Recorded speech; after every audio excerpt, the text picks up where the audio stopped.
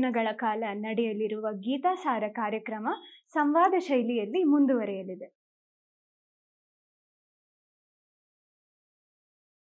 ಇವತ್ತು ಅತ್ತೆ ಅಳಿಯ ಮೊದಲನೇ ಅಧ್ಯಾಯವನ್ನ ಪ್ರಸ್ತುತಪಡಿಸಲಿದ್ದಾರೆ. ಆಚಾರ್ಯರಿಗೆ ನಮಸ್ಕಾರ. ಭಾರತದಲ್ಲಿ ಭಾರತೀಯರಿಗೆ ಅತ್ಯಂತ ಶ್ರೇಷ್ಠವಾದ ಗ್ರಂಥ ಎಂದರೆ ಭಗವದ್ಗೀತೆ ಎನ್ನುತ್ತಾರೆ. ನಾವು ಅನೇಕ ಚಲನಚಿತ್ರಗಳಲ್ಲಿ ನೋಡಿದ್ದೇವೆ. ನ್ಯಾಯಾಲಯಗಳಲ್ಲಿ ಪ್ರಮಾಣ ಮಾಡಿಸುವಾಗ ಭಗವದ್ಗೀತೆ ಪುಸ್ತಕವನ್ನು ಇಟ್ಟು ಪ್ರಮಾಣ ಮಾಡಿಸುತ್ತಾರೆ. ಅಂತ ಶ್ರೇಷ್ಠತೆ ಏನಿದೆ? ಶ್ರೀ ಗುರುಭ್ಯೋ ನಮಃ. ಹರಿ ಆಚಾರ್ಯ ಪವನೋಸ್ಮಾಕಂ ಆಚಾರ್ಯ ಭಾರತಿ ದೇವೋ ನಾರಾಯಣ ಶ್ರೀಶಃ ದೇವಿ ಮಂಗಲ ದೇವತ ಹರಯೇ ನಮಃ. ಬಹಳ ಸುಂದರವಾದಂಥ ಒಂದು ಪ್ರಶ್ನೆಯನ್ನ ಕೇಳಿದ್ದಾರೆ. ಭಗವದ್ಗೀತೆಯ ಶ್ರೇಷ್ಠತೆ ಎನ್ನುವಂತಹದ್ದು ಅದರ ಬಗ್ಗೆ ಒಂದು ಪ್ರಶ್ನೆ. ಯಾಕೆಂದ್ರೆ ಸಾಮ್, ಸಾಮಾನ್ಯವಾಗಿ ಎಲ್ಲ ಕಡೆಯಲ್ಲೂ ಕೂಡ ಭಾರತದಲ್ಲಿ ಭಗವದ್ಗೀತೆ ಅಂತ ಹೇಳಿದರೆ ಅದಕ್ಕೆ ಅದರದ್ದೇ ಆದ ಒಂದು ವೈಶಿಷ್ಟ್ಯ ಇದೆ. ಅದೊಂದು ಶ್ರೇಷ್ಠವಾದ ಗ್ರಂಥ ಅಂತ ಎಲ್ಲರೂ ತಲೆ ಮೇಲೆ ಹೊತ್ತು ಕುಣಿತಾರೆ. ಯಾಕೆ ಅಂತಹ ಶ್ರೇಷ್ಠತೆ ಅಂತ ಹೇಳಿದ್ರೆ ಆ ಗ್ರಂಥದಲ್ಲಿ ಬರೀ ಇರುವಂತಹದ್ದು ಹದಿನೆಂಟು ಅಧ್ಯಾಯ. ಸುಮಾರು ಏಳ್ನೂರು ಚಿಲ್ಲರೆ ಶ್ಲೋಕಗಳಿದ್ದಾವೆ. ಆದರೆ ಅಷ್ಟರಲ್ಲೇನೆ ಶ್ರೀಕೃಷ್ಣ ಭಗವಂತ ಎಂಥ ವ್ಯವಸ್ಥೆ ಮಾಡಿದ್ದಾನೆ ಅಂದರೆ ಅವನು ಪುಟ್ಟ ಬಾಲಕನಾಗಿದ್ದಾಗ ಹೇಗೆ ತನ್ನ ಬಾಯಿಯ ಒಳಗೆ ಬ್ರಹ್ಮಾಂಡವನ್ನ ತೋರಿಸಿದ್ದಾನೋ ಆ ರೀತಿಯಲ್ಲಿ ಚಿಕ್ಕದಾದ ಪುಟ್ಟದಾದ ಈ ಭಗವದ್ಗೀತಾ ಎನ್ನುವಂತ ಗ್ರಂಥದಲ್ಲಿ ಬ್ರಹ್ಮಾಂಡದಷ್ಟು ಅರ್ಥವನ್ನ ತುರುಕಿಟ್ಟಿದ್ದಾನೆ ಅಂಥ ಒಂದು ವೈಶಿಷ್ಟ್ಯ ಅದರಲ್ಲಿ ಇಡೀ ಮಾನವ ಜನಾಂಗ ತನ್ನ ಜೀವನದಲ್ಲಿ ಇರುವಂತಹ ಹಾಸುಹೊಕ್ಕಾಗಿರುವಂತಹ ಎಲ್ಲ ಸಮಸ್ಯೆಗಳು, ಜಂಜಾಟಗಳು ಅಂತೇನಿದ್ದಾವೋ ಪ್ರತಿಯೊಂದಕ್ಕೂ ಕೂಡ ಈ ಗ್ರಂಥ ಎನ್ನುವಂತಹದ್ದು ಉತ್ತರ ಕೊಟ್ಟಿದೆ. ಅದರ ಜೊತೆಗೆ ಆ ಗ್ರಂಥವನ್ನ ಅಧ್ಯಯನ ಮಾಡುವವರಿಗೆ ಒಂದು ಅವ್ಯಕ್ತವಾದಂತಹ ಆನಂದವನ್ನ ಕೊಡುತ್ತೆ.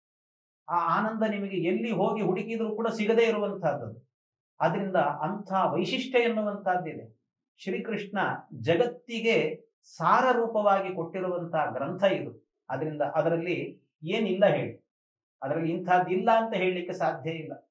ಹದಿನೆಂಟು ಅಧ್ಯಾಯಗಳಲ್ಲಿ ಗೀತೆಯಲ್ಲಾಗುವಾಗ ಸಾರವನ್ನ, ವೇದದ ಸಾರವನ್ನ, ಗೀತೆ ಅಂದ್ರೆ ಮಹಾಭಾರತದ ಸಾರವನ್ನ, ಉಪನಿಷತ್ತುಗಳ ಸಾರವನ್ನ ಎಲ್ಲದರ ಸಾರವನ್ನ ತುಂಬಿ ಕೊಟ್ಟಿರುವಂತಹ ಒಂದು ಅದ್ಭುತವಾದಂತಹ ಒಂದು ಗ್ರಂಥ ಅಂತ ಹೇಳಿದ್ರೆ ಅದು ಭಗವದ್ಗೀತೆ. ಆದ್ರಿಂದ ಭಾರತೀಯರು ಅನೇಕ ಋಷಿಗಳು, ಮಹಾತ್ಮರು ಇದು ಇವುಗಳನ್ನ ಓದಿ, ಕೃಷ್ಣ ಹೇಳಿದ ಗೀತೆಯನ್ನ ಓದಿ ಯಾರು ಬಿಟ್ಟಿದ್ದಾರೆ ಹೇಳಿ ಈ ಗ್ರಂಥವನ್ನ?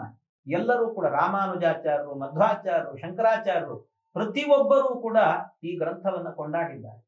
ಅಂಥ ಒಂದು ವೈಶಿಷ್ಟ್ಯಪೂರ್ಣವಾಗಿರುವಂತಹ ಒಂದು ಗ್ರಂಥ ಅದು ಭಗವದ್ಗೀತೆ. ಆದ್ರಿಂದ ಎಲ್ಲ ಋಷಿಗಳು ಕೂಡ ಸೋತದ್ದು ಇದಕ್ಕೆ ಎಷ್ಟು ವ್ಯಾಖ್ಯಾನಗಳಿದ್ದಾವೆ ಅಂತ ಹೇಳಲಿಕ್ಕೆ ಸಾಧ್ಯ ಇಲ್ಲ. ಅಷ್ಟು ವ್ಯಾಖ್ಯಾನಗಳು ಬಂದಿದ್ದಾವೆ. ಒಬ್ಬೊಬ್ಬರಿಗೆ ಒಂದೊಂದು ರೀತಿಯ ಆನಂದವನ್ನು ಕೊಟ್ಟಿರುವಂತಹ ಗ್ರಂಥ.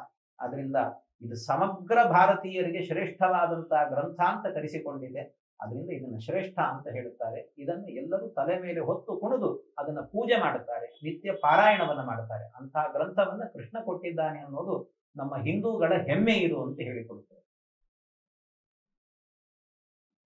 ಎರಡನೇ ಆಚಾರ್ಯ, ಕೃಷ್ಣ ಪರಮಾತ್ಮ ಅರ್ಜುನನಿಗೆ ಭಗವದ್ಗೀತೆ ಉಪದೇಶ ಮಾಡ್ದ. ನೋಡಿದ್ರೆ ಶಾಂತವಾದ ಒಬ್ಬ ಗುರು ಶಾಂತವಾದ ಸಮಯ ಸಂದರ್ಭ ನೋಡಿ ಉಪದೇಶ ಮಾಡ್ತಾರೆ. ಆದ್ರೆ ಕೃಷ್ಣ ಪರಮಾತ್ಮ ಏನ್ ಮಾಡ್ದ ಅಂದ್ರೆ, ರಣರಂಗದಲ್ಲಿ ಉಪದೇಶ ಮಾಡ್ತೀನಿ, ಬಾ ಅಂತ ಅರ್ಜುನನ್ನ ಕರೀತಾರೆ. ಇದು ಏನು ಅಂತ? ತಮ್ಮ ಪ್ರಶ್ನೆ ನನಗೆ ಅರ್ಥ ಆಯಿತು. ಅಂದರೆ ಸಾಮಾನ್ಯವಾಗಿ ಒಬ್ಬ ಶಿಷ್ಯನಾದವಂತ ವ್ಯಕ್ತಿಗೆ ಉಪದೇಶ ಮಾಡಿದರೆ, ಒಂದು ಶಾಂತವಾದ ವಾತಾವರಣದಲ್ಲಿ ಕೂತ್ಕೊಂಡು ಅವನಿಗೆ ಯಾವ ಜಂಜಾಟಗಳಿಲ್ಲದಂತೇನೆ ಅವನಿಗೆ ಉಪದೇಶ ಮಾಡಿದರೆ ಅದು ತಲೆಗೆ ಹೋಗುತ್ತೆ. ಹೇಗೆ ಒಬ್ಬ ತಂದೆಯಾದವನು ಮಗನಿಗೆ ಬ್ರಹ್ಮೋಪದೇಶವನ್ನು ಮಾಡುವಾಗ ಶಾಂತವಾದಂತಹ ಕಾಲದಲ್ಲಿ ಮಗ ತನ್ನ ತಂದೆಯ ತೊಡೆ ಮೇಲೆ ಕೂತಾಗ ಯಾರಿಗೂ ಕೇಳಿಸದಂತೆ ಬಲಗಿವಿಯಲ್ಲಿ ಉಪದೇಶ ಮಾಡಿ ಶಾಂತವಾಗಿ ಉಪದೇಶ ಮಾಡುತ್ತಾನೆ. ಅಂಥ ಒಂದು, ಅಂದ್ರೆ ಉಪದೇಶ ಅಂತಂದ್ರೆ ಹಾಗೆ. ಶಾಂತವಾಗಿ ಉಪದೇಶ ಮಾಡಿದ್ರೆ ತಲೆಗೆ ಹತ್ತುತ್ತೆ ಅಂತ. ಅಂದ್ರೆ ಕೃಷ್ಣ ಭಗವದ್ಗೀತೆಯನ್ನ ಬಾರೋ ಅರ್ಜುನ ನಿನಗೆ ಉಪದೇಶ ಮಾಡ್ತೀನಿ ಅಂತ ರಣರಂಗದ ಮಧ್ಯದಲ್ಲಿ ನಿಂತುಕೊಂಡು ಉಪದೇಶ ಮಾಡ್ತೀನಿ ಅಂದ್ರೆ ಎಷ್ಟು ಸರಿ ಇದು? ಯಾರಾದ್ರೂ ಕೇಳ್ತಾರ, ಪಾಠ ಎಲ್ಲಿ ಯುದ್ಧ ಮಾಡು ಅನ್ನೋ ಕಾಲದಲ್ಲಿ ಬಾ ನಿನಗೆ ಪಾಠ ಮಾಡ್ತೀನಿ ಅಂದ್ರೆ ಹೇಗೆ? ಅಂತ ನಿಮ್ಮ ಪ್ರಶ್ನೆ ಅಭಿಪ್ರಾಯವಾಗಿದೆ. ಇದು ಬಹಳ ಸಮಂಜಸವಾಗಿರುವಂತಹದ್ದು ಯಾಕೆಂದ್ರೆ ಕೃಷ್ಣ ನೋಡಿ ಎಂಥ ಕಾಲದಲ್ಲಿ ಅವನು ಈ ಉಪದೇಶವನ್ನು ಮಾಡಿದ್ದಾನೆ. ನಾನು ಆಗ್ಲೇ ಹೇಳಿದೆ ಒಂದು ಮಾತು. ನಮ್ಮ ಇಡೀ ಜೀವನಕ್ಕೆ ಸೂತ್ರವಾಗಿ ನಿಂತಿರುವಂತಹದ್ದು ಭಗವದ್ಗೀತೆ ಅಂತ. ನಮ್ಮ ಇಡೀ ಜೀವನವನ್ನ ಬದಲಾವಣೆ ಮಾಡಿ, ನಮ್ಮನ್ನ ಒಳ್ಳೆ ಜೀವನ ಮಾಡುವಂತೆ ಮಾಡುವಂತ ಗ್ರಂಥ ಇದು. ಯಾಕೆಂದ್ರೆ, ನೋಡಿ, ಈ ಕುರುಕ್ಷೇತ್ರ, ಧರ್ಮಕ್ಷೇತ್ರ ಅಂತೀವಲ್ಲ, ಬೇರೆ ಏನು, ನಮ್ಮ ಜೀವನವೇ ಧರ್ಮಕ್ಷೇತ್ರ. ಅದು ಹೇಳೋದೇ ಹಾಗೆ, ಧರ್ಮಕ್ಷೇತ್ರೇ ಕುರುಕ್ಷೇತ್ರ ಅಂತ. ಅದು ನಮ್ಮ ಜೀವನ ಎನ್ನುವಂತಹದ್ದು ಒಂದು ಧರ್ಮಕ್ಷೇತ್ರ. ನಾವು ಬಂದದ್ದು ಇಲ್ಲಿ ಯಾಕೆ ಅಂತ ಹೇಳಿದ್ರೆ, ಜೀವನದಲ್ಲಿ ಬಹಳ ಜನರಿಗೆ ಗೊತ್ತಿಲ್ಲ. ನಾವು ಯಾಕೆ ಹುಟ್ಟಿದ್ದೇವೆ ಅಂತಲೇ ಗೊತ್ತಿಲ್ಲ. ನಾವು ಹುಟ್ಟಿರೋದೆಲ್ಲ ಸಾಧನೆ ಮಾಡಿಕೊಳ್ಳಿಕ್ಕೆ, ದೇವರ ವಿಚಾರವನ್ನ, ತತ್ವಜ್ಞಾನವನ್ನು ಪಡೀಲಿಕ್ಕೆ. ಅದರಿಂದ ಇದು ಧರ್ಮಕ್ಷೇತ್ರ ಇದು, ನಮ್ಮ ಜೀವನ ಎನ್ನುವುದು ಧರ್ಮಕ್ಷೇತ್ರ. ಅದರಲ್ಲಿ ಕುರುಕ್ಷೇತ್ರ ಅಂತಂದ್ರೆ ಬೇರೆ ಯಾವುದಲ್ಲ, ನಮ್ಮ ದೇಹ, ನಮ್ಮ ಹೃದಯ. ನಮ್ಮ ಹೃದಯವೇನೇ ಕುರುಕ್ಷೇತ್ರ. ಈ ಕುರುಕ್ಷೇತ್ರದಲ್ಲಿ ನಿತ್ಯವೂ ಕೂಡ ಏನಾಗುತ್ತೆ ಅಂದ್ರೆ ಕೌರವರು, ಪಾಂಡವರು ಯುದ್ಧ ನಡೀತದಂತಿದ್ರಲ್ಲಿ ನಿತ್ಯ. ಏನು ಅಂದ್ರೆ ಒಂದು ಆಸುರಿ ಶಕ್ತಿ, ಇನ್ನೊಂದು ದೈವಿ ಶಕ್ತಿ ಅಂತ. ಆಸುರಿ ಶಕ್ತಿ ಅಂತ ಹೇಳಿದ್ರೆ ಅದು ಕೌರವರು ಅಂತ ಅರ್ಥ. ಈ ಕಡೆ ದೈವಿ ಶಕ್ತಿ ಅಂತ ಹೇಳಿದ್ರೆ ಪಾಂಡವರು ಅಂತ ಅರ್ಥ. ಅಂದ್ರೆ ಆಸುರಿ ಶಕ್ತಿ ಯಾವಾಗಲೂ ಏನು ಮಾಡುತ್ತೆ ಅಂದ್ರೆ ಕೆಟ್ಟದ್ದನ್ನೇ ಆಲೋಚನೆ ಮಾಡುತ್ತೆ. ನಮ್ಮ ಜೀವನದಲ್ಲಿ ನೀವೇ ನೋಡಿರ್ಬೇಕಾದ್ರೆ ದಿನನಿತ್ಯದಲ್ಲೂ ಕೂಡ ಬೆಳಗಿನ ಜಾವದಲ್ಲಿ ಏಳಬೇಕು ಅಂತ ಅನಿಸುತ್ತೆ. ರಾತ್ರಿ ಮಲಗುವಾಗ ಬೆಳಿಗ್ಗೆ ಐದು ಗಂಟೆಗೆ ಏಳಬೇಕು. ಒಂದು ಹತ್ತಾದರೂ ಗಾಯತ್ರಿ ಜಪವನ್ನ ನಿಷ್ಠೆಯಿಂದ ಮಾಡಬೇಕು ಅಂತ ಅನಿಸುತ್ತೆ. ಇದು ಯಾರು ಗೊತ್ತಾ? ದೈವಿ ಶಕ್ತಿ. ಅಂದ್ರೆ ಪಾಂಡವರು ಪ್ರೇರಣೆ ಮಾಡೋದು ಅಂತ ಅರ್ಥ. ಆದರೆ ಇನ್ನೊಂದು ಕಡೆಯಲ್ಲಿ ಇನ್ನೊಂದು ಆಸುರಿ ಶಕ್ತಿ ಇದೆ, ಆಸುರಿ ಮನಸ್ಸು. ಆ ಮನಸ್ಸು ಹೇಳುತ್ತೆ, ಅಯ್ಯೋ, ಐದು ಗಂಟೆ ಯಾಕೋ ಹೇಳ್ತೀಯಾ? ಎಂಟು ಗಂಟೆಗೆ ಎದ್ರೆ ಸಾಕು? ಎಂಟೂವರೆಗೆ ಅಲ್ವಾ ನಾವು ಆಫೀಸಿಗೆ ಹೋಗ್ಬೇಕು? ಅಷ್ಟರಲ್ಲಿ ಅರ್ಧ ಗಂಟೆಯಲ್ಲಿ ಸ್ನಾನ ಮಾಡ್ಕೊಂಡು, ಫಲಹಾರ ಮಾಡಿಕೊಂಡು ಹೋದ್ರೆ ಆಯ್ತು. ಜಪ? ಅಯ್ಯೋ, ಯಾಕೆ ಬೇಕು ಜಪ? ಅಂತ ಈ ಆಸುರಿ ಶಕ್ತಿ ಅನ್ನುವಂಥದ್ದು ಪ್ರೇರಣೆ ಮಾಡುತ್ತೆ. ಈ ಕುರುಕ್ಷೇತ್ರದಲ್ಲಿ ಯುದ್ಧವನ್ನ ಮಾಡಿದಾಗ, ಆವತ್ತು ಕುರುಕ್ಷೇತ್ರದಲ್ಲಿ ಕೃಷ್ಣನ ಸನ್ನಿಧಾನ ಇತ್ತು. ಆ ಕೃಷ್ಣನ ಸನ್ನಿಧಾನದಲ್ಲಿ ಪಾಂಡವರು, ಕೌರವರು ಯುದ್ಧ ಮಾಡಿದ್ರಿಂದ ಏನೇ ಆದರೂ ಕೂಡ ಕೃಷ್ಣನ ಸನ್ನಿಧಾನ ಇದ್ದದ್ರಿಂದಾಗಿ ಗೆಲುವು ಪಾಂಡವರಿಗೆ ಸಿಗ್ತದೆ ಆದ್ರೆ ಇವತ್ತು ನಮ್ಮ ಹೃದಯವೆಂಬಂತ ಕುರುಕ್ಷೇತ್ರದಲ್ಲಿ ನಾವು ಕೃಷ್ಣನನ್ನ ಮರೆತಿದ್ದೇವೆ. ಆದ್ರಿಂದ ಅನೇಕ ಬಾರಿ ಈ ದೈವಿ ಶಕ್ತಿ, ಆಸುರಿ ಶಕ್ತಿಗಳ ಯುದ್ಧ ನಡೀತಾ ಇರುವಾಗ ಕೃಷ್ಣನ ಸನ್ನಿಧಾನ ಇಲ್ಲದೆ ಇದ್ರೆ ಅಲ್ಲಿ ಕೌರವರೇ ಗೆಲ್ತಾರೆ ಅನೇಕ ಬಾರಿ. ಹಾಗಾಗಬಾರದು. ಆದ್ರಿಂದ ಈ ಯುದ್ಧ ಎನ್ನುವಂತ ಪ್ರಸಂಗ ಇದೆ ಅಲ್ವಾ?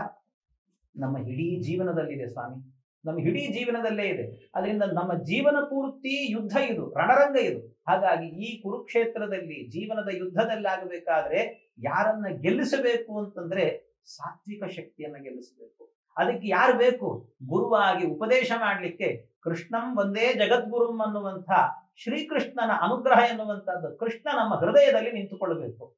ಆಗ ಮಾತ್ರ ನಮ್ಮ ಜೀವನದಲ್ಲಿ ನಾವು ಗೆಲುವನ್ನು ಸಾಧಿಸಲಿಕ್ಕೆ ಸಾಧ್ಯ. ಅದರಿಂದ ಇದನ್ನು ಸೂಚನೆ ಮಾಡಲಿಕ್ಕೋಸ್ಕರ ನಿಮ್ಮ ಜೀವನದಲ್ಲಿ ನಿತ್ಯ ಈ ಹೋರಾಟ ಎನ್ನುವಂತಹದ್ದು ನಡೆಯುತ್ತೆ. ನಿಮ್ಮ ಹೋರಾಟದಲ್ಲಿ ನೀವು ಸನ್ಮಾರ್ಗದಲ್ಲಿ ಸಾಗಬೇಕು ಅಂತ ಆದ್ರೆ ಅದಕ್ಕೆ ಕೃಷ್ಣನ ಭಗವದ್ಗೀತೆ ಬೇಕು ಅನ್ನೋದನ್ನ ತಿಳಿಸೋದಕ್ಕೆ ಸೂಚನೆ ಮಾಡಲಿಕ್ಕೆ ಭಗವಂತ ಈ ಯುದ್ಧದ ರಣರಂಗದ ಮಧ್ಯದಲ್ಲಿ ನಿಂತು ಇಂಥ ಉಪದೇಶವನ್ನ ಮಾಡಿದ್ದಾನೆ, ಗೀತೆಯ ಉಪದೇಶವನ್ನ ಅಂತ. ಹಾಗೆ ಆದ್ರಿಂದ ಈ ಉಪದೇಶ ಎನ್ನುವಂತಹದ್ದು ಶಾಂತವಾದ ವಾತಾವರಣದಲ್ಲಿ ಅಂತ ತಿಳಿಬಾರದು. ನಮ್ಮ ಜೀವನಕ್ಕೆ ಮಾರ್ಗದರ್ಶನವಾಗಿ ಕೊಟ್ಟ ಗ್ರಂಥ ಆದ್ರಿಂದ ಇದು ಸರಿಯಾದ ಕಾಲದಲ್ಲಿ ಉಪದೇಶ ಮಾಡಿದ್ದಾನೆ ಕೃಷ್ಣ ಅಂತ ತಿಳ್ಕೊಳ್ಬೇಕು. ಅದರಿಂದ ಇದನ್ನ ಎಲ್ಲರೂ ಅಧ್ಯಯನ ಮಾಡಬೇಕು ಅಂತ ಹೇಳ್ತಾ ಇದ್ದಾರೆ ತುಂಬಾ ಅದ್ಭುತವಾಗಿ ಹೇಳಿದ್ದೀರಾ ಆಚಾರ್ಯ. ಇವಾಗ ನೀವು ಹೇಳ್ದಂಗೆ ಶ್ರೀಕೃಷ್ಣ ಪರಮಾತ್ಮ ಅರ್ಜುನನಿಗೆ ಉಪದೇಶ, ಭಗವದ್ಗೀತೆ ಉಪದೇಶ ಮಾಡಿದ್ದು. ಇದು ಅರ್ಜುನನಿಗೆ ಮಾತ್ರ ಸಂಬಂಧಪಟ್ಟಿದ್ದು. ಇದನ್ನ ನಾವು ಯಾಕೆ ಓದ್ಬೇಕು? ಬಹಳ ಚೆನ್ನಾಗಿ ಕೇಳಿದ್ರೆ. ಅಂದ್ರೆ ಉಪದೇಶ ಮಾಡಿರುವಂತಹದ್ದು ಅರ್ಜುನನಿಗೆ. ಹಾಗಾಗಿ ಅರ್ಜುನನಿಗೆ ಉಪದೇಶ ಮಾಡಿದ ಮೇಲೆ ಮತ್ತೆ ನಾವ್ಯಾಕೆ ಓದ್ಬೇಕು? ಅರ್ಜುನ ಪರ್ಟಿಕ್ಯುಲರ್ ಆಗಿ ಅವನಿಗೋಸ್ಕರ ಹೇಳಿರುವಂತಹದ್ದು. ಅರ್ಜುನ ಯುದ್ಧ ಮಾಡಲ್ಲ ಅನ್ನೋ ಪ್ರಸಂಗ ಬಂದಾಗ ಅವನಿಗೆ ಮಾತ್ರ ಉಪದೇಶ ಮಾಡಿದ್ದು. ಇದನ್ನ ನಾವ್ಯಾಕೆ ಓದ್ಬೇಕು ಅಂತ ಬಹಳ ಸುಂದರವಾದಂತಹ ಪ್ರಶ್ನೆ ಕೇಳಿದ್ದೀರಿ. ಆದ್ರೆ ಒಂದು ವಿಷಯ ಏನು ಅಂದ್ರೆ ಕೃಷ್ಣ ತಾನು ಗೀತೆಯನ್ನ ಅರ್ಜುನನಿಗೆ ಹೇಳಿದ ಅಂದ್ರೆ ಬರೀ ಅರ್ಜುನನಿಗೆ ಮಾತ್ರ ಹೇಳಿದ್ದಲ್ಲ. ಕೃಷ್ಣ ಅವನು ಹೇಳಿದ್ದು, ಅರ್ಜುನನನ್ನ ನಿಮಿತ್ತ ಮಾಡಿಕೊಂಡು ಸಮಗ್ರ ಜಗತ್ತಿಗೇನೆ. ನಾನು ಆಗಲೇ ಹೇಳಿದಂತೆ, ಬರೀ ಯುದ್ಧದ ಪ್ರಸಂಗ, ಆ ಕುರುಕ್ಷೇತ್ರದ ರಣರಂಗ ಮಾತ್ರ ಅಲ್ಲ, ನಮ್ಮ ಹೃದಯವೆಂಬಂತ ಕುರುಕ್ಷೇತ್ರವೆಂಬಂತ ರಣರಂಗದಲ್ಲೂ ಕೂಡ ನಡೆಯುವಂತ ಯುದ್ಧದಲ್ಲಿ ಕೃಷ್ಣನ ಉಪದೇಶ ಬೇಕು. ಆದ್ರಿಂದ ಈ ಅರ್ಜುನ ಎನ್ನುವುದು ನಿಮಿತ್ತ ಮಾತ್ರ, ಅವ್ ನಿಮಿತ್ತ ಮಾತ್ರ. ಅದನ್ನೇ ಶಾಸ್ತ್ರಕಾರರೆಲ್ಲ ಹೇಳಿದ್ದಾರೆ. ಸರ್ವೋಪನಿಷದೋ ಗಾವಹ ದುಗ್ಧ ಗೋಪಾಲನಂದನ. ಪಾರ್ಥೋ ವತ್ಸಹ ಸುಧೀರ್ ಭೋಕ್ತ ದುಗ್ಧಂ ಗೀತಾಮೃತಂ ಮಹತ್ ಅಂತ ಹೇಳ್ತಾನೆ ಅಂದ್ರೆ ಈ ಸರ್ವೋಪನಿಷದೋ ಗಾವ ಎಲ್ಲಾ ಉಪನಿಷತ್ತುಗಳೇನಿದ್ದಾವೆ, ಆ ಉಪನಿಷತ್ತು ಎನ್ನುವಂತಹದ್ದು ಹಸು ಇದ್ದಂತೆ. ಆ ಹಸುವಿನ ಕೆಚ್ಚಲಲ್ಲಿ ತುಂಬಿದ ಹಾಲು ಅಂತ ಹೇಳಿದ್ರೆ ಭಗವದ್ಗೀತಾ. ಭಗವದ್ಗೀತೆ ಎನ್ನುವಂತಹದ್ದು ಅದರ ಕೆಚ್ಚಲಲ್ಲಿ ತುಂಬಿದಂತಹ ಹಾಲು. ಇಂಥ ಹಾಲನ್ನ ಹಸುವಿನ ಕೆಚ್ಚಲಿಂದ ಕರಿಬೇಕಾದ್ರೆ ಮೊದಲೇನ್ ಮಾಡಬೇಕು ಗೊತ್ತಾ? ಕರುವನ್ನ ಕಳಿಸಿಕೊಡಬೇಕು ಕರು ಸ್ವಲ್ಪ ಹೀರಿತು ಅಂತ ಆದ್ರೆ ಆಮೇಲೆ ತನ್ನ ಕೆಚ್ಚಲಿಂದ ಹಾಲನ್ನ ಇಡೀ ಜಗತ್ತಿಗೆ ಕೊಡುತ್ತಂತೆ ಹಸು. ಹಾಗೆ ಆ ವತ್ಸ ರೂಪದಲ್ಲಿ ಅಂದ್ರೆ ಕರುವಿನ ರೂಪದಲ್ಲಿ ಅರ್ಜುನನ್ನ ಬಳಸಿಕೊಂಡಿದ್ದಾನೆ ಕೃಷ್ಣ ಅಷ್ಟೇ. ಇಲ್ಲಿ ಹಾಲು ಹಿಂಡಿದವನು ಯಾರು ಅಂತ ಹೇಳಿದ್ರೆ ಗೋಪಾಲನಂದನ ಕೃಷ್ಣ ಪರಮಾತ್ಮ ಸಾಕ್ಷಾತ್ ಜಗತ್ತಿಗೆ ಹಾಲನ್ನ ಉಣ್ಣಿಸಬೇಕು ಅಂತ ಭಗವದ್ಗೀತೆ ಎನ್ನುವಂತಹ ಅಮೃತ ಸದೃಶವಾದಂತಹ ಹಾಲನ್ನ ಉಣ್ಣಿಸಿದವನು ಶ್ರೀಕೃಷ್ಣ ಪರಮಾತ್ಮ. ಅದರಿಂದ ಈ ಗ್ರಂಥ ಎನ್ನುವಂತಹದ್ದು ಕೇವಲ ಅವನನ್ನ ವತ್ಸ, ಕರುವಿನ ರೂಪದಲ್ಲಿ ಇಟ್ಟುಕೊಂಡು, ಅಂದ್ರೆ ಅವನನ್ನು ನಿಮಿತ್ತ ಮಾತ್ರವಾಗಿ ಮಾಡಿಕೊಂಡು ಜಗತ್ತಿಗೆ ಉಪದೇಶ ಮಾಡಿದ್ದಾನೆ. ಹಾಗೆ ಹಸು ಎನ್ನುವಂತಹದ್ದು ಹಾಲು ಕೊಡುವಾಗ ಅದು ತನ್ನ ಕರುವಿಗೆ ಸ್ವಲ್ಪ ಕೊಟ್ಟು ಇಡೀ ಜಗತ್ತಿಗೆ ಆ ಹಾಲು, ಹಾಲನ್ನ ಉಣಬಡಿಸುತ್ತೋ ಆ ರೀತಿಯಲ್ಲಿ ಕೃಷ್ಣ ಪರಮಾತ್ಮನು ಕೂಡ ಇದನ್ನ ಆ ಉಪನಿಷತ್ತು ಎನ್ನುವಂತ ಆ ಹಸುಗಳನ್ನೆಲ್ಲ ಸಾಲಾಗಿ ನಿಲ್ಲಿಸಿ ಅವುಗಳ ಕೆಚ್ಚಲಿಂದ ಗೀತೆ ಎನ್ನುವಂತಹ ಹಾಲನ್ನ ಕರೆದು ಅದರಲ್ಲಿ ಹಾಲು ಕರೆಯುವಾಗ ಕರುವಿನ ರೂಪದಲ್ಲಿ ಈ ಅರ್ಜುನನನ್ನ ನಿಮಿತ್ತ ಮಾಡಿಕೊಂಡು ಜಗತ್ತಿಗೆ ಹಾಲು ಉಣಬಡಿಸಿದ್ದಾನೆ.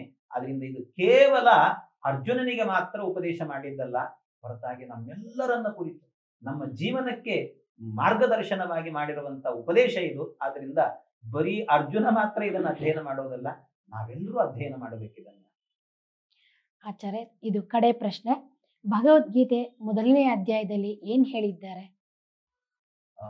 ಬಹಳ ಸುಂದರವಾದಂತಹ ಪ್ರಶ್ನೆಯನ್ನ ಕೇಳಿದ್ರಿ ಭಗವದ್ಗೀತೆಯ ಮೊದಲನೇ ಅಧ್ಯಾಯದಲ್ಲಿ ಏನ್ ಹೇಳಿದ್ದಾರೆ ಅಂತ?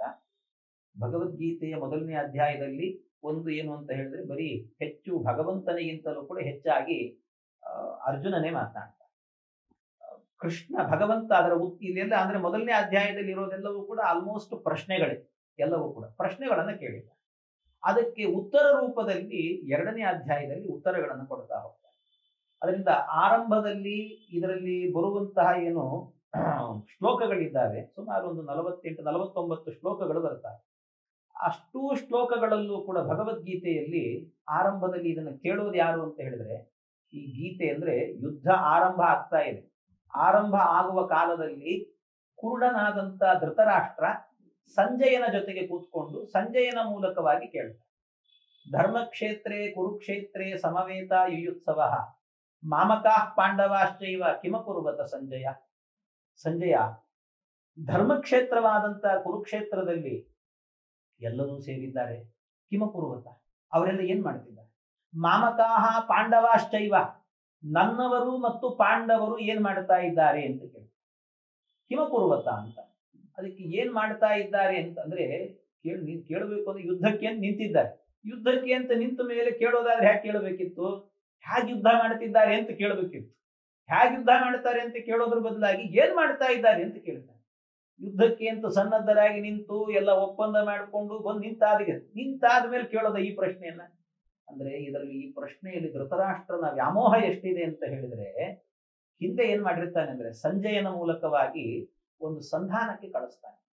ಸಂಧಾನಕ್ಕೆ ಅಂತಂದ್ರೆ ಸಂಜಯ ನೀನು ಪಾಂಡವರಿಗೆ ಹೋಗಿ ಧರ್ಮರಾಜಾದಿಗಳಿಗೆ ಉಪದೇಶ ಮಾಡು. ಏನು ಅಂದ್ರೆ ಈಗಾಗಲೇ ಹದಿಮೂರು ವರ್ಷದ ತನಕಲೂ ಕೂಡ ಕಾಡಲ್ಲಿ ಇದ್ದು ಬಂದಿದ್ದಾರೆ. ಕಾಡಲ್ಲಿ ಇದ್ದ ಅಭ್ಯಾಸ ಆದವರಿಗೆ ಇನ್ನು ಮುಂದುವರಿಲಿಕ್ಕೆ ಏನು ಕಷ್ಟ ಇದೆ ಆದ್ರಿಂದ ಅಲ್ಲೇ ಇದ್ದು ಬಿಡ್ಬೋದಿತ್ತು. ಸುಮ್ಮನೆ ಇಲ್ಲಿ ಬಂದು ಇನ್ನು ಐದು ರಾಜ್ಯ ಕೊಡ್ರಿ, ಐದು ಗ್ರಾಮ ಕೊಡ್ರಿ, ಇನ್ನೊಂದು ಮತ್ತೊಂದು. ಯಾಕೆ ಕೇಳ್ತಿದ್ದಾರೆ ಸುಮ್ಮನೆ ನಮ್ಮ ಮಗ? ಕೊಡೋದಿಲ್ಲ ಅಂತ ಬೇರೆ ಹೇಳುತ್ತಿದ್ದಾನೆ ದುರ್ಯೋಧನ. ಯಾಕೆ ಇದೆಲ್ಲ ಬೇಕು? ಮತ್ತಿದಲ್ಲದೇನೆ ಯುದ್ಧ ಅದು ಇದು ಅಂತ ನಡೆದ್ರೆ ಏನಾದ್ರೂ ಅನರ್ಥ ಆದ್ರೆ ಏನ್ ಮಾಡ್ತಾರೆ ಆಮೇಲೆ ಸುಮ್ಮನೆ ಹೇಗೂ ಬದುಕಿದ್ದಾರೆ. ಈಗಾಗಲೇ ಕಾಡಲ್ಲಿ ಬದುಕಿ ಅಭ್ಯಾಸ ಆಗಿದೆ. ಅದಕ್ಕೆ ಕಾಡಿಗೆ ಹೋಗಿಬಿಡು ಅಂತ ಹೇಳು ಅಂತ ಸಂಜಯನ ಬಳಿಯಲ್ಲಿ ಹೇಳಿ ಕಳಿಸಿದ್ದ ಮೊದಲು.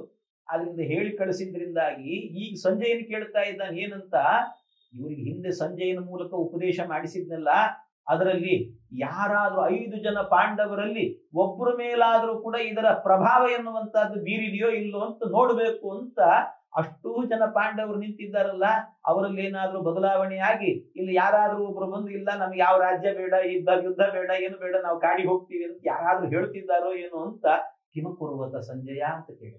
ಏನ್ ಮಾಡ್ತಿದ್ದಾರೆ ಅಂತ, ಯುದ್ಧ ಹೇಗ್ ಮಾಡ್ತಿದ್ದಾರೆ ಅಂತ ಕೇಳಲಿಲ್ಲ ಏನ್ ಮಾಡ್ತಿದ್ದಾರೆ ಅಂತ, ಏನ್ ಮಾಡ್ತಿದ್ದಾರೆ ಅಂತ ಹೀಗೇನಾದ್ರೂ ಮಾಡ್ತಿದ್ದಾರ? ಅಕಸ್ಮಾತ್ ಯುದ್ಧ ಬೇಡ ಅಂತ ಅಂದ್ಕೊಂಡೇನಾದ್ರೂ ಬಂದು ಕೇಳ್ತಾ ಇದ್ದಾರಾ? ಅನ್ನುವ ಅಭಿಪ್ರಾಯದಲ್ಲಿ ಆ ಪ್ರಶ್ನೆ ಇದೆ ಅವನಿಗೆ. ಕಿಮಕುರುವತ ಸಂಜಯ ಅನ್ನೋರು. ಬರೀ ಹೇಳಿದ್ದಿಷ್ಟೇ ಕಿಮಕುರುವತ ಅಂತ. ಆದ್ರೆ ಅವನ ಅಂತರಂಗ ಇರೋದು ಇಷ್ಟಿದೆ ಅಂತ. ಹಾಗಾಗಿ ಆ ರೀತಿಯಲ್ಲಿ ಕೇಳ್ತಾನೆ. ಸಂಜಯನನ್ನು ಕೇಳ್ತಾನೆ. ಕೇಳಿದಾಗ ಆ ಸಂಜಯ ಹೇಳ್ತಾನೆ, ಮೊದಲಿಗಾಗಬೇಕಾದ್ರೆ ದುರ್ಯೋಧನ ಮಾಡಿದ್ನಂತೆ. ದುರ್ಯೋಧನನಾಗಬೇಕಾದ್ರೆ ಆರಂಭದಲ್ಲಿ ಭೀಷ್ಮಾಚಾರ್ಯರನ್ನ ದ್ರೋಣಾಚಾರ್ಯರನ್ನ ತನ್ನ ಸೈನ್ಯದಲ್ಲೆಲ್ಲ ಸೇರಿಸಿಕೊಂಡಿದ್ದ ದುರ್ಯೋಧನ. ಮಹಾದುಷ್ಟ ದುರ್ಯೋಧನ ಅವನು. ಅವನು ಹೇಳ್ತಾನಲ್ಲ ಅವನೇ ಹೇಳಿದ ಮಾತು, ನನಗೆ ಜಾನಾಮಿ ಧರ್ಮಂ ನಚಮೇ ಪ್ರವೃತ್ತಿ ಜಾನಾಮ್ಯ ಧರ್ಮಂ ನಚಮೇ ನಿವೃತ್ತಿ ಧರ್ಮ ಗೊತ್ತು ನಾನು ಮಾಡಲ್ಲ, ಅಧರ್ಮ ಗೊತ್ತು ನಾನು ಬಿಡಲ್ಲ ಅಂತಿದ್ದ. ಹಾಗಾಗಿ ಅಂಥ ಅಯೋಗ್ಯ ಅವನು ಹೇಳ್ತಾನೆ, ಈ ಕಡೆ ಹನ್ನೊಂದು ಅಕ್ಷೌಹಿಣಿ ಸೈನ್ಯ ಸೇರಿದೆ, ಆ ಕಡೆ ಏಳು ಅಕ್ಷೌಹಿಣಿ ಸೈನ್ಯ ಸೇರಿದೆ. ಎರಡು ಅಕ್ಷೌಹಿಣಿ ಸೈನ್ಯಗಳು ಸೇರಿರುವಾಗ ಆ ಕಾಲದಲ್ಲಿ ಅವನು ಕೇಳ್ತಾ ಇದ್ದಾನೆ, ಅವನಿಗೊಂದು ಮನಸ್ಸಿನಲ್ಲಿ ಒಳಗಡೆನೆ ಒಂದು ಚಂಚಲವಾಗಿ, ಅಂದ್ರೆ ಸಂದೇಹ ಅವನಿಗೆ. ಯಾಕೆ ಅಂದ್ರೆ ನಮ್ಮಲ್ಲಿ ಹನ್ನೊಂದು ಅಕ್ಷವಿಣಿ ಇದ್ರೂ ಕೂಡ, ಆ ಕಡೆ ಏಳೇ ಇದೆ, ಇದ್ರೂ ಕೂಡ ಅಲ್ಲೊಬ್ಬ ಭೀಮ ಇದ್ದಾನಲ್ಲ ಅನ್ನೋ ಹೆದರಿಕೆ ಭೀಮ ಇದ್ದಾನಲ್ಲ, ಏನಾಗುತ್ತೋ ಏನೋ ಅಂತ. ಆ ಹೆದರಿಕೆಯಿಂದಾಗಿ ದ್ರೋಣಾಚಾರ್ಯರ ಬಳಿಗೆ ಬಂದು ಕೇಳಿಕೊಡುತ್ತಾನವನು ಭೀಷ್ಮಾಚಾರ್ಯರಿಂದ, ಭೀಷ್ಮಾಚಾರ್ಯರು ಸೇನಾಪತಿಗಳಾಗಿದ್ದಾರೆ, ಭೀಷ್ಮಾಚಾರ್ಯರ ಆಡಳಿತದಲ್ಲಿ, ಅವರ ಸೈ, ಸೇನಾಪತಿತ್ವದಲ್ಲಿ ನಮ್ಮ ಸೈನ್ಯ ಎನ್ನುವಂತಹದ್ದು ಎಷ್ಟು ಗಟ್ಟಿಯಾಗಿದೆ ಭೀಮನ ಕಡೆಯವರು ಇದ್ದಾರೆ. ಅಂದ್ರೆ ಆ ಪಾಂಡವರ ಕಡೆಯವರು ಇದ್ದಾರೆ. ಭೀಮನಿಂದ ರಕ್ಷಿತವಾಗಿದೆ ಅದು. ಭೀಮನಿಂದ ರಕ್ಷಿತವಾದಂತಹ ಪಾಂಡವ ಸೈನ್ಯ ಎನ್ನುವಂತಹದ್ದು ಎಷ್ಟು ಗಟ್ಟಿಯಾಗಿದೆ. ಒಂದು ಸರ್ತಿ ಯಾರ್ಯಾರು, ಯಾರ್ಯಾರ ಕಡೆಯಲ್ಲಿದ್ದಾರೆ ಅಂತ ಅದರ ಬಗ್ಗೆ ವಿವರವನ್ನು ಕೊಡಿ ಅಂತ ಕೇಳಿದಾಗ ಆ ಎಲ್ಲ ವಿವರಣೆಯನ್ನು ಕೊಟ್ಟಿದ್ದಾರೆ. ಎಲ್ಲರೂ ಕೂಡ. ಯಾರ್ಯಾರು, ಯಾರ್ಯಾರ ಕಡೆಯಲ್ಲಿದ್ದಾರೆ ಅಂತ ಹೇಳಿಬಿಟ್ಟು ಭೀಷ್ಮಾಚಾರ್ಯರಿದ್ದಾರೆ, ದ್ರೋಣಾಚಾರ್ಯರು, ಅಶ್ವತ್ಥಾಮಾಚಾರ್ಯರು, ಕರ್ಣ ಶಲ್ಯ ಇವರೆಲ್ಲರೂ ಕೂಡ ಎಲ್ಲೆಲ್ಲಿದ್ದಾರೆ ಅಂತ ಅವರವರ ಬಲಗಳನ್ನ ನಿರೂಪಣೆ ಮಾಡುತ್ತಾ ಇದನ್ನೆಲ್ಲ ಹೇಳಿದ್ದಾರೆ. ಇಷ್ಟೂ ವಿಷಯಗಳನ್ನ ಹೇಳಿದ ನಂತರ ಅದು ಇದೆಲ್ಲ ಏನು ಸಾಮಾನ್ಯವಾದ ವಿಷಯ. ಇದರಲ್ಲಿ ಹೆಚ್ಚು ಹೇಳುವಂತಹ ವಿಷಯಗಳಿಲ್ಲ ಆದ್ರೆ ಇದರಲ್ಲಿ ಮುಖ್ಯವಾಗಿ ಹೇಳಬೇಕಾಗಿರುವಂತಹದ್ದು ಅಂತ ಹೇಳಿದ್ರೆ ಈ ಕೃಷ್ಣ ಪರಮಾತ್ಮನ ಬಳಿಯಲ್ಲಿ ಇವನು ಕೇಳ್ತಾ ಇದ್ದಾನೆ. ಈ ಅರ್ಜುನ ಕೇಳ್ತಾ ಇದ್ದಾನೆ. ಇಷ್ಟೆಲ್ಲ ಆದ ನಂತರ ಕೊನೆಯಲ್ಲಿ ಅರ್ಜುನ ಹೇಳ್ತಾನೆ. ಅವನು ದ್ರೋಣಾಚಾರ್ಯ ಎಲ್ಲ ಹೇಳ್ತಾರೆ. ಎಲ್ಲೆಲ್ಲಿ ಯಾರ್ಯಾರು ನಿಂತಿದ್ದಾರೆ, ಎಲ್ಲೆಲ್ಲಿ ಯಾರ್ಯಾರಿದ್ದಾರೆ ಆ ಕಡೆಯಿಂದ ಬಲಂ ಭೀಮಾಭಿರಕ್ಷಿತಂ ಅಂತ ಹೇಳ್ತಾರೆ. ಭೀಮಸೇನನ ಬಲ ಇದೆಯಲ್ಲ, ಅದರ ಮುಂದೆ ನಮ್ದೇನು ಇಲ್ಲ ಅಂತ ಹೇಳ್ತಾರೆ. ಅದಕ್ಕೆ ಅವನು ಕೊನೆಗೆ ಒಪ್ಕೊಳ್ತಾನೆ ಅದನ್ನು. ಭೀಮನ ಮುಂದೆ ಯಾರು ಇಲ್ಲ ಅಂತ ಒಪ್ಪಿಕೊಂಡಿದ್ದಾನೆ ಇದು ಸಾಮಾನ್ಯವಾದ ಸಂಭಾಷಣೆ. ಇಷ್ಟು ವಿಷಯ ಬಂದಿದೆ. ಇದು ಆದ ನಂತರ ಮುಂದೆ ಅರ್ಜುನ ಹೇಳ್ತಾನೆ, ಸೇನೆಯೋರ್ ಉಭಯೋರ್ ಮಧ್ಯೆ ರಥಂ ಸ್ಥಾಪಯ ಕೇಶವ. ಕೃಷ್ಣ, ಈ ಎರಡು ಸೈನ್ಯಗಳಿದ್ದಾವಲ್ಲ ಎರಡು ಸೈನ್ಯಗಳ ಮಧ್ಯದಲ್ಲಿ ನನ್ನ ರಥವನ್ನ ತೆಗೆದುಕೊಂಡು ಹೋಗಿ ನಿಲ್ಲಿಸು ಯಾಕೆಂದ್ರೆ ಎರಡು ಕಡೆಯಲ್ಲೂ ಯಾರಿದ್ದಾರೆ ಅಂತ ನೋಡೋಣ ಅಂತ. ಅವನಿಗೆ ಇನ್ನೂ ಪೂರ್ಣವಾದ ವಿಶ್ವಾಸ ಇರಲಿಲ್ಲ. ಅದರಿಂದ ಗೊಂದಲ ಅವನಿಗೆ. ಯುದ್ಧ ಮಾಡಬೇಕೋ ಬೇಡವೋ ಅಂತ. ಅದಕ್ಕೋಸ್ಕರ ಗೊಂದಲದಿಂದಾಗಿ ಅವನು ಕೇಳ್ತಾ ಇದ್ದಾನೆ, ಎದುರುಗಡೆಯಲ್ಲಿ ಮಧ್ಯದಲ್ಲಿ ತಂದು ನಿಲ್ಲಿಸಿದಾಗ ರಥವನ್ನ ಆಗ ಕೃಷ್ಣನ ಕಡೆಗೆ ನೋಡಿ, ಕೃಷ್ಣ, ನಾನು ಯುದ್ಧವನ್ನ ಮಾಡೋದಿಲ್ಲ ಅಂತ ಹೇಳಿ. ನಾನು ಯುದ್ಧ ಮಾಡೋದಿಲ್ಲ. ಯಾಕೆ ಅಂದ್ರೆ ಕೃಷ್ಣ ನೀನೇ ಹೇಳು. ನಾನು ಯಾಕೆ ಯುದ್ಧ ಮಾಡಬೇಕು ಅನ್ನೋದನ್ನ ನೀನೇ ಹೇಳು. ಯಾವ ಪ್ರಯೋಜನಕ್ಕೋಸ್ಕರ ಒಂದು ಏನಾದ್ರೂ ಕೆಲಸ ಮಾಡಬೇಕಾದ್ರೆ ಪ್ರಯೋಜನ ಮನುದ್ದಿಶ್ಯ ನಮಂದೋಪಿ ಪ್ರವರ್ತತೆ. ಏನಾದ್ರೂ ಒಂದು ಪ್ರಯೋಜನ ಇರಬೇಕು. ಏನು ಪ್ರಯೋಜನ ಇದೆ? ಯಾವ ಪ್ರಯೋಜನಕ್ಕೋಸ್ಕರವಾಗಿ ನಾನು ಈ ಯುದ್ಧವನ್ನ ಮಾಡಬೇಕು? ಇಲ್ಲ, ಐಹಿಕವಾದಂತಹ ಇಹಲೋಕದಲ್ಲಿ ಬದುಕಲಿಕ್ಕೆ ಬೇಕಾದಂತಹ ಸಂಪತ್ತು ಸಿಗುತ್ತಪ್ಪ. ಆದ್ರಿಂದ ಆ ಸಂಪತ್ತಿಗೋಸ್ಕರವಾಗಿ ನಾನು ಯುದ್ಧ ಮಾಡಬೇಕು ಅಂತ ಹೇಳ್ತೀಯಾ? ಅಥವಾ ಇಲ್ಲ, ಪಾರತ್ರಿಕವಾದಂತಹ ಇಲ್ಲಿ ನಾನು ಯುದ್ಧ ಮಾಡಿದೆ ಅಂತಾದ್ರೆ ಮುಂದೆ ನನಗೆ ಶ್ರೇಯಸ್ಸಾಗುತ್ತೆ, ಮೋಕ್ಷ ಎನ್ನುವಂತಹದ್ದು ಲಭ್ಯವಾಗತ್ತೆ. ಆದ್ರಿಂದ ಅದಕ್ಕೋಸ್ಕರವಾಗಿ ನೀನು ಯುದ್ಧ ಮಾಡುವಂತ ಹೇಳ್ತೀಯ ಎರಡೂ ಪ್ರಯೋಜನ ಇಲ್ಲ ಅಂತ. ಎರಡೂ ಪ್ರಯೋಜನ ಇಲ್ಲ. ಯಾಕೆ ಅಂತ ಹೇಳಿದ್ರೆ, ಮೊದಲನೇದಾಗಿ ಈ ಸುಖದ ಭೋಗಕ್ಕೋಸ್ಕರವಾಗಿ ನಾನು ಯುದ್ಧ ಮಾಡಬೇಕು ಅಂದ್ರೆ ನನ್ನವರನ್ನ ಕೊಂದುಕೊಂಡು, ನನ್ನವರು ಅಂತ ಹೇಳಿದ್ರೇನು? ಆ ಕಡೆ ಇರಬಹುದು. ಆತ ತಾಯಿಗಳು ಅಂತಿದ್ದಾರೆ. ಆ ಆತ ತಾಯಿಗಳು ಆತ ತಾಯಿಗಳು ಅಂತ ಹೇಳಿದ್ರೆ ಸಾಮಾನ್ಯವಾಗಿ ಯಾರು ಮತ್ತೊಬ್ಬರಿಗೆ ಹಿಂಸೆ ಮಾಡಿ, ಯಾರು ಅವರನ್ನ ಸಂಹಾರ ಮಾಡಿ ಬದುಕುವವರು, ವಿಷ ಹಾಕಿ ಬದುಕುವವರು, ಕತ್ತಿಯಿಂದ ಅವರನ್ನ ಚುಚ್ಚಿ ಬದುಕುವವರು, ಇಂಥವ್ರು ಯಾರು ಹೇಳ್ತಾರೆ ಅವರೆಲ್ಲ ಆತ ತಾಯಿಗಳು ಅಂತ ಕರೀತಾರೆ. ಇಂಥ ಆತತಾಯಿಗಳೇನಿದ್ದಾರೆ ಅವರೆಲ್ಲ ಕೆಲವರು ಇದ್ದಾರೆ ದುಷ್ಟರಿದ್ದಾರೆ ದುರ್ಯೋಧನಾದಿಗಳು ಇಲ್ಲ ಅಂತ ಹೇಳಿದ್ರು ಆದರೆ ಅವರಿಗಿಂತಲೂ ಕೂಡ ಹೆಚ್ಚಾಗಿ ದ್ರೋಣಾಚಾರ್ಯರು, ಭೀಷ್ಮಾಚಾರ್ಯರು, ಅಶ್ವತ್ಥಾಮಾಚಾರ್ಯರು, ಇಂಥ ಮಹಾತ್ಮರೆಲ್ಲರೂ ಕೂಡ ಕೌರವರ ಸೈನ್ಯದಲ್ಲಿ ಸೇರಿದ್ದಾರೆ. ಅಂಥವರನ್ನ ಕೊಂದು ಅವರನ್ನ ಅವರನ್ನ, ಅವರ ದೇಹವನ್ನ ನಾಶ ಮಾಡಿ ಯಾವ ಸುಖಕ್ಕೆ ನಾನು ಹೋಗಬೇಕು? ನನಗೆ ಈ ಭೋಗ ಬಂತು ಅಂತಾದ್ರೆ ಇಂಥವರನ್ನ ಕೊಂದು ಇವರ ರಕ್ತದ ಮೇಲೆ ಮನೆಯನ್ನ ಕಟ್ಟಿಕೊಂಡು ಅದರ ಮೇಲೆ ನಾನು ಸುಖದ ಸುಪ್ಪತ್ತಿಗೆಯಲ್ಲಿ ಬದುಕಬೇಕು ಅಂದ್ರೆ ನನಗೆ ಅನಿಸೋದಿಲ್ಲ. ನನ್ನ ಮನಸ್ಸಿಗೆ ಅನಿಸೋದಿಲ್ಲ. ನನ್ನ ಹಿರಿಯರನ್ನ ಕೊಂದು ನಾನು ಅನುಭವಿಸ್ತಾ ಇರುವ ಆಸ್ತಿ ಇದು ಅಂತ ನನಗೆ ನೋವಾಗುತ್ತೆ. ಆದ್ರಿಂದ ಈ ವ್ಯವಸ್ಥೆ ನನಗೆ ಇಷ್ಟ ಆಗ್ತಿಲ್ಲ. ಅದರಿಂದ ಈ ಪ್ರಯೋಜನವನ್ನ ಪಡ್ಕೊಂಡು ನಾನು ಯುದ್ಧ ಮಾಡಬೇಕು ಅಂತ ಹೇಳ್ತೀಯಲ್ಲ, ಇದು ಬೇಡವೇ ಬೇಡ. ಇನ್ನೊಂದೇನು, ಇಷ್ಟೇ ಅಲ್ಲ, ಒಂದು ಅವರ ಸಮಾಧಿಯ ಮೇಲೆ ಮನೆ ಕಟ್ಟಿಕೊಂಡು ಬದುಕಲಿಕ್ಕೆ ನನಗೆ ಇಷ್ಟ ಆಗುವುದಿಲ್ಲ ಇದು ಪ್ರಯೋಜನವೇ ಅಲ್ಲ. ಇನ್ನೊಂದು ಪಾರತ್ರಿಕವಾದಂತಹ ಸುಖ ಇದೆ ಅಂತ ಹೇಳಿದ್ರೆ, ಆ ಪಾರತ್ರಿಕವಾದಂತಹ ಸುಖವೂ ಕೂಡ ಇಲ್ಲ. ಯಾಕೆ ಅಂತ ಹೇಳಿದ್ರೆ, ಪಾರತ್ರಿಕವಾದಂತಹ ಸುಖ ಎನ್ನುವಂತಹದ್ದು ಎಲ್ಲಿರುತ್ತೆ ಹೇಳಿ. ಈಗಾಗಲೇನೆ ದ್ವೇಷದಿಂದ ದ್ವೇಷಪೂರಿತರಾಗಿ, ನಮ್ಮ ವಿರುದ್ಧವಾಗಿ ಸೆಣಸಾಡ್ಲಿಕ್ಕೆ ಅಂತ ನಿಂತವರು ದುರ್ಯೋಧನಾದಿಗಳು. ಆ ದುರ್ಯೋಧನಾದಿಗಳು ಯಾವ ಕೆಲಸವನ್ನ ಮಾಡ್ತಾ ಇದ್ದಾರೋ ಅದೇ ಕೆಲಸವನ್ನ ನಾವು ಮಾಡಬೇಕು ಅಂತ ಹೇಳಿದ್ರೆ ಇದು ಎಷ್ಟು ಚಂದ ಇದು. ಅವ್ರು ಮಾಡಿದ್ರಿಂದಾಗಿ ಅವ್ರೇನ್ ಕೆಲಸ ಮಾಡ್ತಿದ್ದಾರೆ? ನಮ್ಮನ್ನೆಲ್ಲ ಕಾಡಿ ತಳ್ಳಬೇಕು, ನಮ್ಮನ್ನು ಹಿಂಸೆ ಕೊಡಬೇಕು, ನಮ್ಮ ಮಕ್ಕಳನ್ನು ಕೊಂದಿದ್ದಾರೆ ಉಪಪಾಂಡವರನ್ನು ಕೊಲ್ತಾರೆ ಮುಂದೆ. ಹಾಗೆ ಈ ಈ ಎಲ್ಲಾ ಕೆಲಸಗಳನ್ನು ಕೂಡ ಮಾಡುವವರು ದುಷ್ಟರು. ಅದರಿಂದ ಆ ದುಷ್ಟರು ಮಾಡುವಂತಹ ಕೆಲಸವನ್ನ ನಾವು ಕೂಡ ಕೊಲ್ಲುವ ಕೆಲಸವನ್ನ ಮಾಡಿದ್ವಿ ಅಂದ್ರೆ ಇದರಿಂದಾಗಿ ನಮಗೆ ಯಾವ ಪಾರತ್ರಿಕವಾದಂತಹ ಸುಖ ಎನ್ನುವಂತಹದ್ದು ಸಿಗುತ್ತೆ, ಇದರಿಂದ ಮೋಕ್ಷ ಎನ್ನುವಂತಹದ್ದು ಸಿಗುತ್ತಾ ಕೃಷ್ಣ? ಆದ್ರಿಂದ ಕೃಷ್ಣ, ಈ ಯುದ್ಧ ಎನ್ನುವಂತಹದ್ದು ಪಾರತ್ರಿಕವಾದಂಥ ಸುಖವೂ ಇಲ್ಲದೆ ಇರುವುದರಿಂದಾಗಿ ಇದು ಎರಡೂ ಕೂಡ, ಅಂದ್ರೆ ಈ ಯುದ್ಧದಿಂದ ಐಹಿಕ ಮತ್ತು ಪಾರತ್ರಿಕ ಎರಡೂ ಸುಖಗಳು ಕೂಡ ಇಲ್ಲದೆ ಇರುವುದರಿಂದಾಗಿ ಈ ಯುದ್ಧವನ್ನು ನಾನು ಮಾಡುವುದು ಸರಿಯಲ್ಲ ಅಂತ ನನಗನಿಸುತ್ತೆ. ಹಾಗಾಗಿ ಈ ಯುದ್ಧವನ್ನು ನಾನು ಮಾಡಲ್ಲ ಅಂತ ಹೇಳಿದ. ಹೀಗೆ ಇದು ಒಂದು ಅಂಶವನ್ನ ಹೇಳುತ್ತಾನೆ. ಇದಷ್ಟೇ ಅಲ್ಲ ಪ್ರಶ್ನ ಮತ್ತೆ ಯುದ್ಧದಿಂದ ಆಗುವ ಪರಿಣಾಮ ಎಂಥದ್ದು ಗೊತ್ತಾ? ಯುದ್ಧದಿಂದ ಎಷ್ಟೆಲ್ಲ ಪರಿಣಾಮ ಆಗುತ್ತೆ? ಒಂದು ಸರ್ತಿ ಯುದ್ಧ ಎನ್ನುವಂತಹದ್ದು ನಡೆಯಿತು ಅಂತಾದರೆ ಅದರಿಂದಾಗಿ ಸಮಾಜದ ವ್ಯವಸ್ಥೆಯೆಲ್ಲ ಹಾಳಾಗಿ ಹೋಗುತ್ತೆ. ಒಂದು ಯುದ್ಧ ನಡೀತು ಅಂದ್ರೆ ನೋಡಿ ನಿಮಗೆ ಗೊತ್ತಿದೆ, ಮೊನ್ನೆ ಮೊನ್ನೆ ತಾನೇ ಒಂದು ರಷ್ಯಾ ಮತ್ತು ಇನ್ನೊಂದು ದೇಶ ಯುದ್ಧ ನಡೀತು. ಆ ಯುದ್ಧ ನಡೆದಿದ್ದರಿಂದ ಇದ್ದಕ್ಕಿದ್ದಾಗೆ ಭಾರತದಲ್ಲಿ ಈ ಎಣ್ಣೆಗಳೆಲ್ಲವೂ ಕೂಡ ರೇಟ್ ಜಾಸ್ತಿ ಆಗೋಗ್ಬಿಡುತ್ತೆ ಅಂದ್ರೆ ಒಮ್ಮೆ ಎಲ್ಲೋ ಒಂದು ಯುದ್ಧ ನಡೆಯಿತು ಅಂತ ಆದ್ರೆ ಸಮಾಜದ ವ್ಯವಸ್ಥೆಗಳೆಲ್ಲವೂ ಕೂಡ ಹದಗೆಟ್ಟು ಹೋಗಿಬಿಡುತ್ತೆ. ಅದರಿಂದ ನಾವು ಇಲ್ಲಿ ಯುದ್ಧವನ್ನ ಮಾಡಿದೀವಿ ಅಂತ ಆದ್ರೆ ಇದರಿಂದ ಎಷ್ಟು ಅವ್ಯವಸ್ಥೆಗಳಾಗುತ್ತೆ, ಇದರಿಂದ ಎಷ್ಟು ತೊಡಕುಗಳು ಬರ್ತವೆ, ಇದರಿಂದ ಏನೆಲ್ಲ ಆಗುತ್ತೆ ಅಂತ ಹೇಳಿದ್ರೆ ನೋಡು, ನಾವು ಎಷ್ಟೋ ಜನರನ್ನ ಕೊಲ್ತೇವೆ.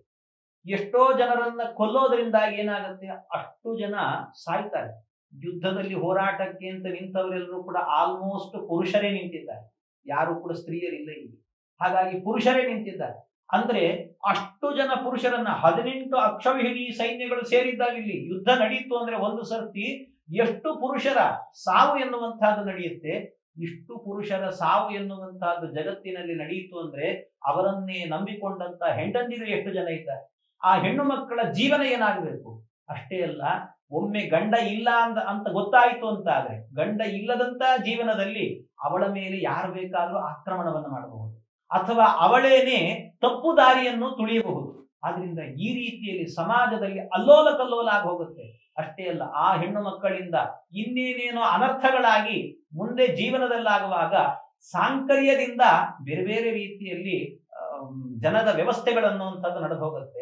ಆದ್ರಿಂದ ಈ ಎಲ್ಲ ದೋಷಗಳಿರೋದ್ರಿಂದಾಗಿ, ಇಷ್ಟೆಲ್ಲ ಕಂಠಕಗಳಿರೋದ್ರಿಂದಾಗಿ ಈ ಯುದ್ಧ ಎನ್ನುವಂತಹದ್ದು ನನಗೆ ಇಷ್ಟ ಆಗ್ತಾ ಇಲ್ಲ ಕೃಷ್ಣ.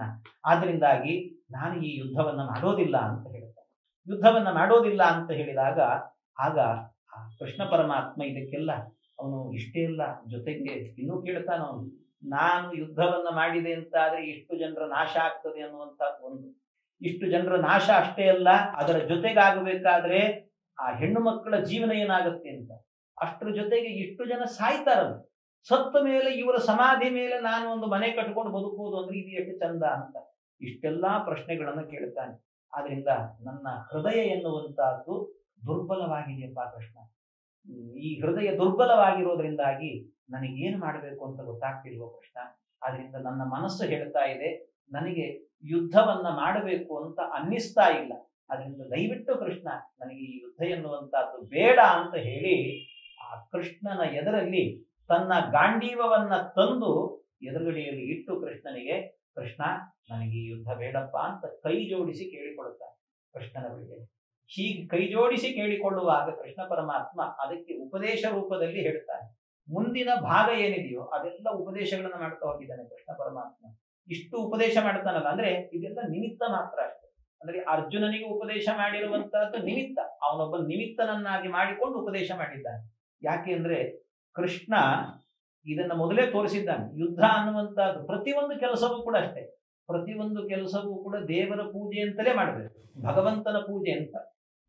ನಾವು ಯಾವುದನ್ನು ಮಾಡ್ಲಿಕ್ಕೆ ಸಾಧ್ಯ ಇಲ್ಲ.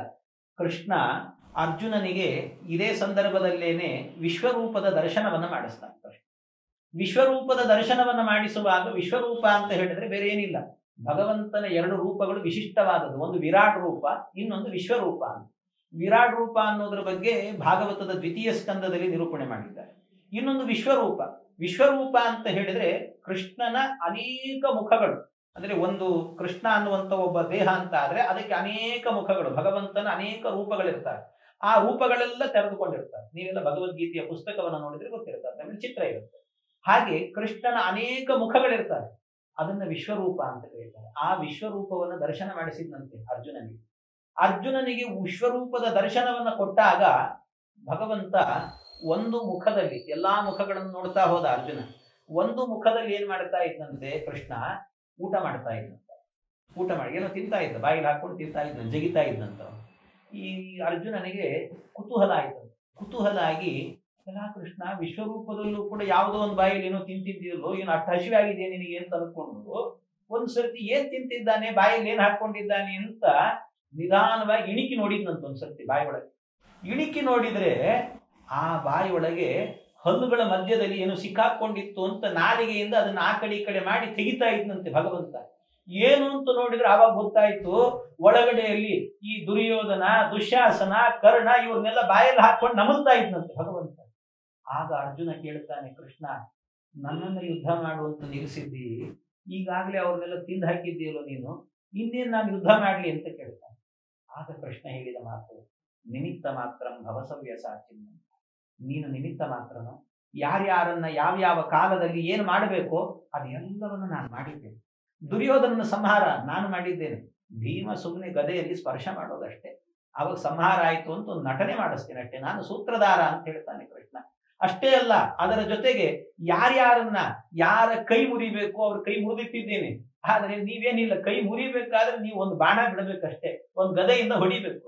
ಸುಮ್ಮನೆ ನಿಮ್ಮ ಸ್ಪರ್ಶ ಮಾತ್ರದಿಂದ ಅವನ ಕೈ ಮುರಿದು ಹೋಗ್ತದಷ್ಟೇ ಒಬ್ಬನ ಕಾಲು ಮುರಿಬೇಕ ನಾನ್ ಮುರಿದಾಗಿದೆ, ಅವನ ಕಾಲು ಮುರಿದು ನೀವೇನ್ ಮಾಡ್ತೀರಿ? ಸುಮ್ಮನೆ ಒಂದು ಹೊಡೆಯೋದಷ್ಟೇ, ಅದರಿಂದ ಕಾಲು ಮುರಿದಂತೆ ಆಗುತ್ತೆ ಅಷ್ಟೇ ಕಾಲ ಕಾಲಕ್ಕೆ ಏನೇನ್ ನಡಿಬೇಕೋ ಅದು ಎಲ್ಲವನ್ನ ವ್ಯವಸ್ಥಿತವಾಗಿ ನಾನು ಮಾಡಿಟ್ಟಿದ್ದೇನೆ. ನೀನು ಬರೀ ನಿಮಿತ್ತ ಮಾತ್ರ. ನೀನು ಮಾತ್ರ ಅಲ್ಲ, ಇಡೀ ಯುದ್ಧದಲ್ಲಿ ಯುದ್ಧ ಮಾಡುತ್ತಾ ಇರುವಂತ ಎಲ್ಲರೂ ಕೂಡ ನಿಮಿತ್ತ ಮಾತ್ರರಾಗಿದ್ದೀರಿ ಹೊರತು ನೀವ್ಯಾರು ಕೂಡ ಯುದ್ಧ ಮಾಡುವವರಲ್ಲ. ಅದರಿಂದ ನಿಜವಾದ ಯುದ್ಧವನ್ನು ನಾನು ಮಾಡುವವನು. ಅದರಿಂದ ಏನು ಮಾಡಿದ್ರು ಕೂಡ ಕೃಷ್ಣ, ಇದು ನಿನ್ನ ಮೂಲಕ. ನೀನು ಮಾಡಿಸ್ತಾ ಇರೋದು ನಾಹಂಕರ್ತ ಹರಿಕರ್ತ ಅನ್ನುವಂತ ಭಾವದಿಂದಾಗಿ ಪ್ರತಿಯೊಂದನ್ನು ಕೂಡ ನನ್ನ ಪೂಜೆ ಅಂತ ಮಾಡಿದಾಗ ಯಾವ ದೋಷವೂ ಕೂಡ ಇರೋದಿಲ್ಲ.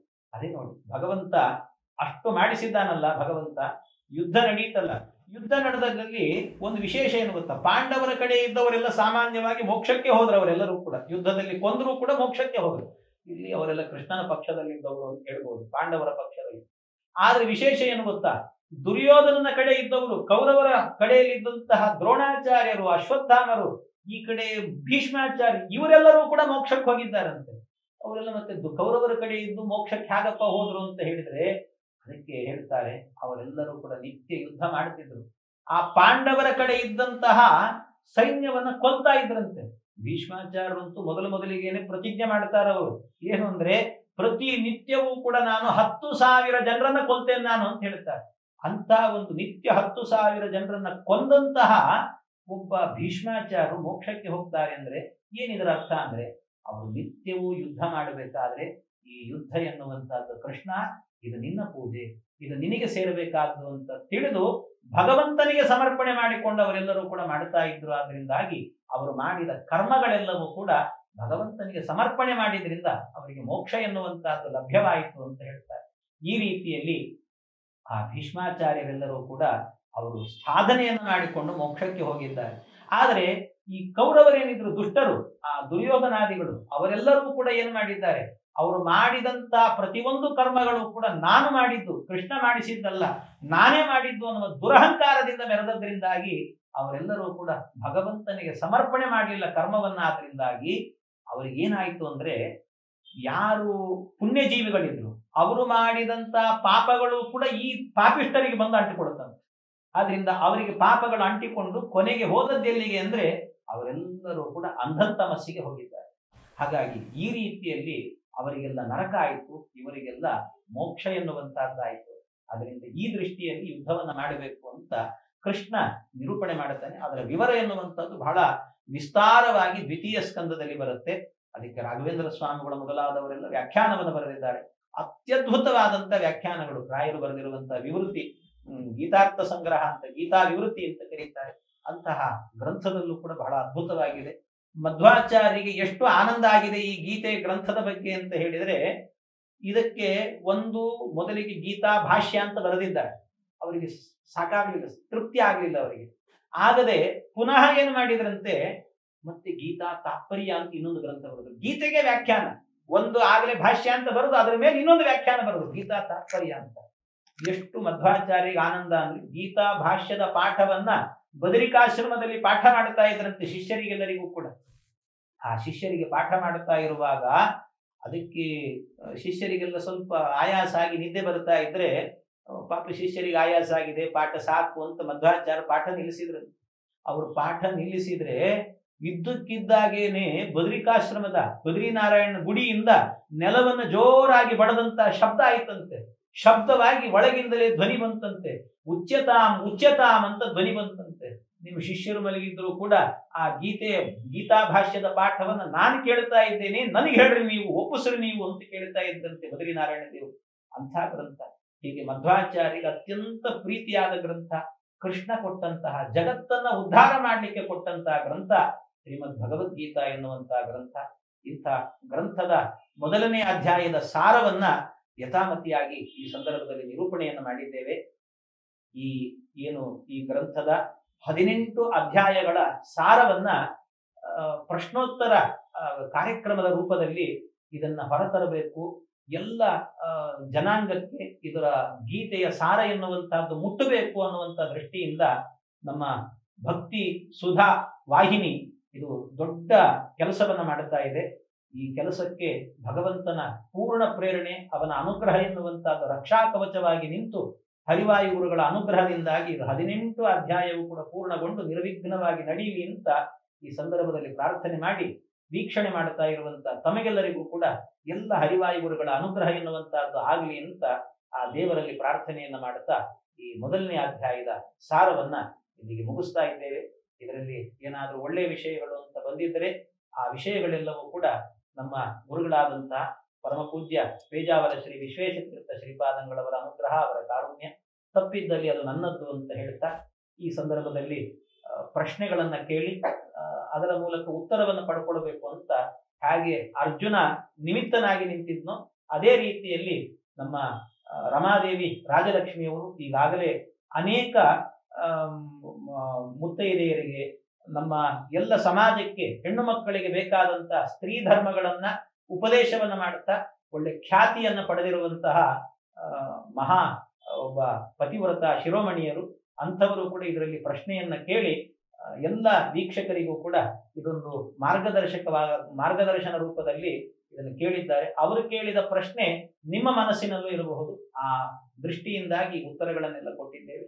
ಇನ್ನು ಮುಂದಿನ ಸಂಚಿಕೆಗಳಲ್ಲಿ ಇನ್ನು ಹೆಚ್ಚಿನ ಪ್ರಶ್ನೆಗಳು, ಹೆಚ್ಚಿನ ಉತ್ತರಗಳು ಸಿಗುತ್ತೆ. ನಿರೀಕ್ಷೆಯಲ್ಲಿರಿ ಅಂತ ತಮಗೆ ಹೇಳುತ್ತಾ ನಿಮಗೆಲ್ಲರಿಗೂ ಕೂಡ ಹರಿವಾಯು ಗುರುಗಳ ಅನುಗ್ರಹ ಆಗಲಿ ಅಂತ ಹೇಳುತ್ತಾ ಧನ್ಯವಾದ